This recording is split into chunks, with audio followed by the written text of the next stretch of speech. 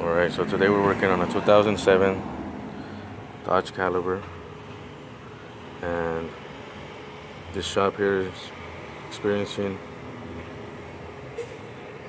drivability problems. The transmission is running in one gear.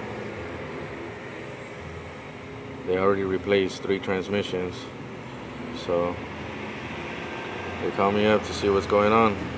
What I'm gonna do here is I'm just gonna reflash the system, um, update it to the latest software, which will be the ECU and the TCM or CVT module. Once we've done those updates, I believe the car should run like a champ. It's worked many times. It's usually the problem that it needs a software update or the computer's uh, frozen in a fail-safe mode. As you can see there on the screen, it's downloading. The bar down there is filling up as the download uh,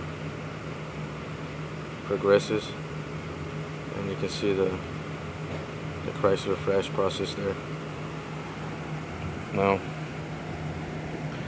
the majority of the time this works, flashing the system the unit I'm using or tool is a Snap-on J2534 Pass-Through Pro 3 which works great. I've used it plenty of times and it does the job. It's very compact and easy to um, use. It's like everything. As you can see, it has close to 200,000 miles. So you can't blame the transmission for going out who knows what kind of drivers this car experienced so. We're reflashing it. It should work. Mr. Leo will be happy